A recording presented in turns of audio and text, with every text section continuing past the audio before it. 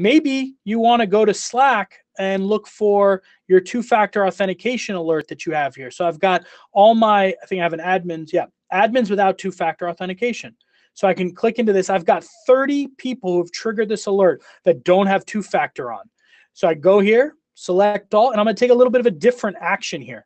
I'm gonna actually send direct messages to all these people.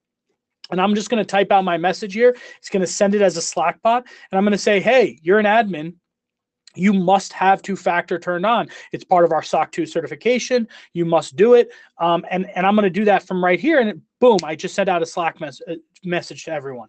Um, maybe you want to look for, there's another really good system alert. Um, this We kind of have this alert for everything, but for Dropbox, you could look for administrators who have been who have been added. So I can look at all the administrators who are on the Dropbox account. And some people will have rules internally, policies internally about how many admins they can have. So they may only be able to have four admins, depending on depends on different policies. But and you could set the threshold to say every time that it goes over four admins, let me know.